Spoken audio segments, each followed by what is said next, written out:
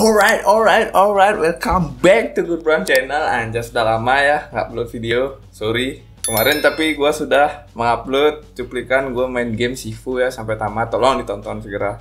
Jadi gue nggak sekedar reaction juga ada gaming dan gue cuplikan itu diambil dari live stream gue yang ada di Facebook ya. Jadi segera follow Facebook gue di fanpage Good Bram. Follow, like, dan share ya. Dan lu juga bisa follow Instagram gue dan dengerin podcast gue di Gurban Podcast tersedia di Spotify dan Apple Podcast dan banyak tempat lain. Facebook Podcast juga ada di sana. Di kalian dengerin juga podcast gue ya. Uh, ya pokoknya intinya kalian follow aja semua sosial media gue gue nanti taruh di sini semua. Pokoknya ada semua udah pokoknya. Pokoknya follow aja semua follow support pokoknya ya. Pokoknya gimana kabar kalian? Semoga baik-baik aja ya uh, di channel ini di konten ini gue akan membahas hal yang sedang ramai diperbincangkan ya karena itu tolong ya di share gitu gue nih udah buat konten tuh ngikutin traffic yang rame apa gitu kan pohon hujan ya udah gue bikin gitu Paris Fashion Week rame gue bikin gitu jadi tolong share like comment subscribe oke okay? semua tuh full package Semoga kalian uh, hari ini sehat-sehat aja dan good mood gitu ya. Jadi nonton gue tuh seru gitu. Oke. Okay? Um, daripada banyak basa-basi ya kebanyakan opening gitu. Jadi gue tuh nggak pernah nonton youtuber gitu. Jadi gue nggak tahu openingnya gimana gitu. Jadi gue ngasal ya ngomong gitu. Bacot. Opening terbacot hashtag gitu. Ya gitu ya langsung aja uh, eh, gue bakal tonton aksi penghujan Mandalika ya. Sah. masih kayak orang luar tuh. Wah teknologi macam apa ini? Jadi dunia aksi pawang hujan ini curi perhatian penonton di luar dunia Fabio Quartararo. Anjing. Anjing. Anjing. Anjing orangnya anjing. Gue tahu ada yang di kepala lu. Lu bukan mau ngelucu kan? Gue tahu lu sarkas sarkas anjing kan? Sarkas sarkas bangsat. Gue tahu sih anjing anjing. Hmm. dalam MotoGP Mandalika yang baru saja selesai digelar sempat tertunda akibat hujan deras. Gelaran balap MotoGP Mandalika yang digelar hari ini Minggu 20 Maret 2022 akhirnya bisa dihelat setelah tertunda guyuran hujan. Minggu lalu Vino dari KTM akhirnya sukses menjadi juara di susul Fabio Quartararo Hujan banget anjing. Set banget gitu. Hujan deras tak turun dan aksi pawang hujan tidak berhenti sampai hujan benar benar reda. Padahal tiga hari sebelum MotoGP Mandalika digelar, sebanyak tiga ton garam sudah disebar di sekeliling sirkuit. Tiga ton garam aja. Lu mau ngapain, Cok? Mengusir ular. Singaruh gitu ya. Badan Penanggulangan Daerah BPBD Nusa Tenggara NTB. Full power! I'm the magic sorcerer. The rain sorcerer from Indonesia. Anas. Ditonton dengan bule gitu ya. dalam jumlah besar itu ditabur untuk mencegah terjadinya hujan saat balapan MotoGP berlangsung pada hari ini. Singaruh gitu. Nggak, mungkin uh, di Bata bule itu kayak ini nih bule-bule yang nonton ini kayak pasti dia mikir kayak wow teknologi macam apa teknologi macam apa ini gitu Gua arti lagi dah. Kita tonton aja dulu ya. Minggu 20 Maret 2022. Kepala BPBD NTB sah dan mengatakan penaburan garam itu dilakukan tiga hari sebelum balapan berlangsung untuk tiga hari kemarin ada sekitar tiga ton garam kita, kita tetap melakukan modifikasi cuaca, termasuk hari ini, kata Sadan. Oh, tapi gue bingungnya kenapa muka sewot tanya? Kan kan lu pakai jampi-jampi itu ya memohon permohonan makhluk astral lu harus melakukannya dengan tulus ikhlas yang kenapa emosi gitu ibu Oh anjay Kok mukanya sebel gitu anjing Hujan itu membuat penonton bersorak-sorai Bahkan pebalap dari tim Yamaha Fabio Quartararo tertawa yang memparodikan gaya hujan tersebut. Sarkas-sarkas bangsat gitu. Guyur sirkuit Mandalika sejak 14.30 Wita dan berhenti sekitar 15.35 Wita. Oh, berarti ke magicnya itu sejam ya kekuatannya tuh menimbulkan efek sejam. Waktu itu licin banget anjing sumpah. Ngeri gitu boy. Gue aja naik vario aja ngeri anjing basah. Ah, Jadi karena gue mungkin mau sedikit jelasin ya ke kalian gitu kenapa hal ini itu bisa rame karena ada beberapa oknum yang merasa malu gitu loh kayak ya ampun Indonesia dilihat dunia masih kayak suku pedalaman gitu kan masih uh, sangat tradisional sekali gitu menghentikan hujan gitu gitu kan. Ada tim yang kayak uh, woi keren Indonesia kultur kita dikenalkan ke kancah internasional gitu.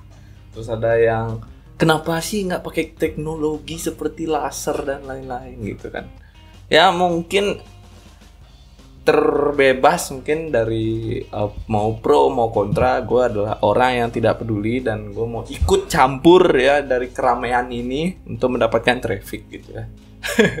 Jadi menurut gue sebenarnya gue nggak pro nggak kontra menurut gue ya konten aja hiburan gitu. Mau terserah mau gaya-gaya sorcerer magic magic gitu. Wah wah manggil manggil setan gitu kan.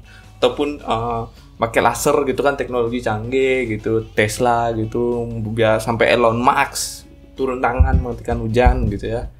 Gue nggak peduli pokoknya Mandalika lancar uh, Indonesia jadi banyak duit datang wisatawan banyak orang di sekitar jadi ikut buka usaha bisnis sehingga rame dan hujannya berhenti jadi semua puas gitu. Mau caranya tradisional kek mau caranya tek teknologi kek gitu kalau hujannya berhenti acara lancar udah gue support pokoknya apa pun caranya gitu. Gue tuh emang orangnya uh, hasil oriented gitu. Nggak peduli caranya gimana yang penting hasilnya bagus. Dah gitu aja.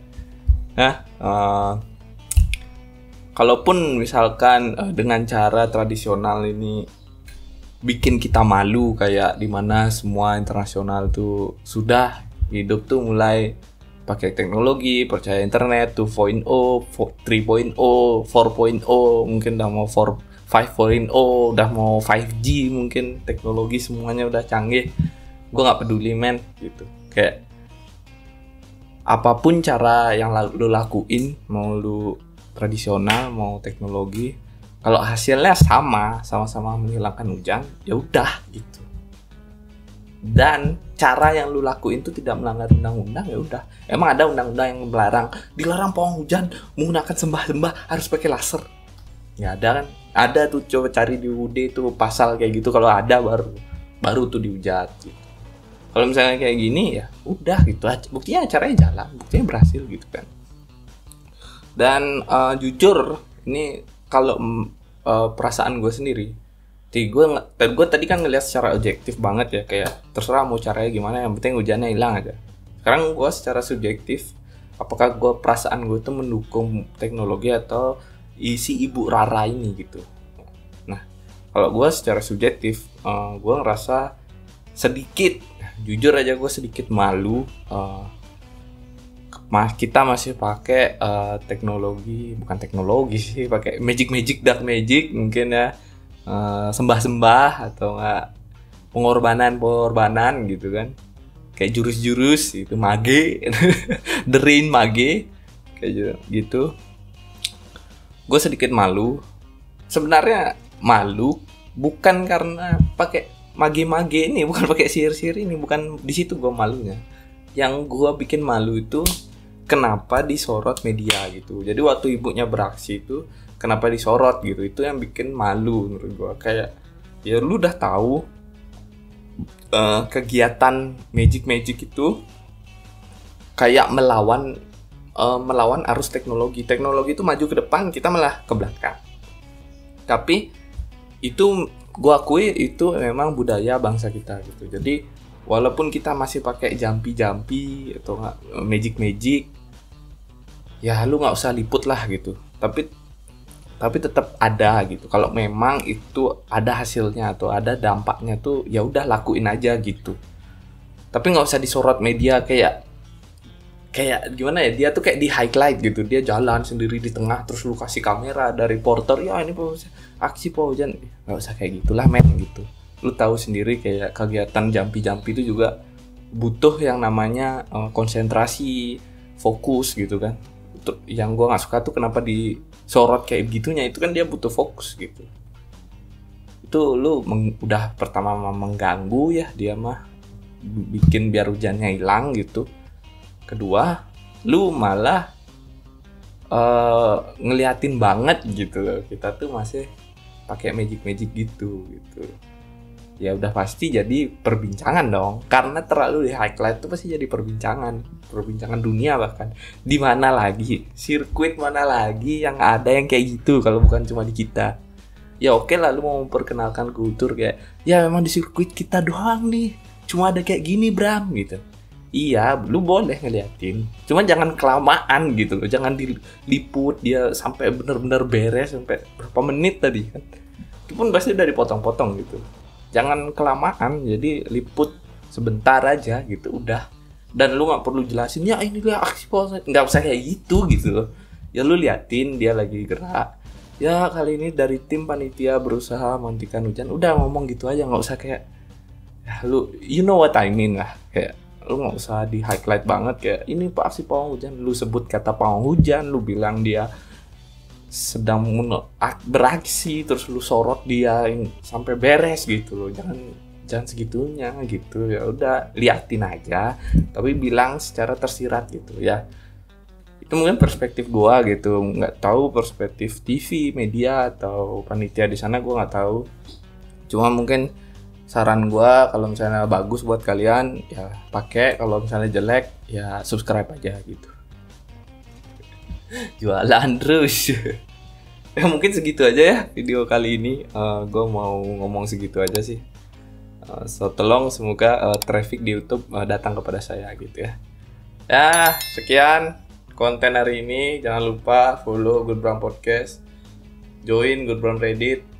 Eh, follow juga uh, fanspage gua. Untuk nonton gua live streaming nge-game karena nanti bakal gua main Ghostwire Tokyo ya. Jadi kita akan main Ghostwire Tokyo. Oke jangan lupa follow subscribe like share komen. Semuanya pokoknya. It's a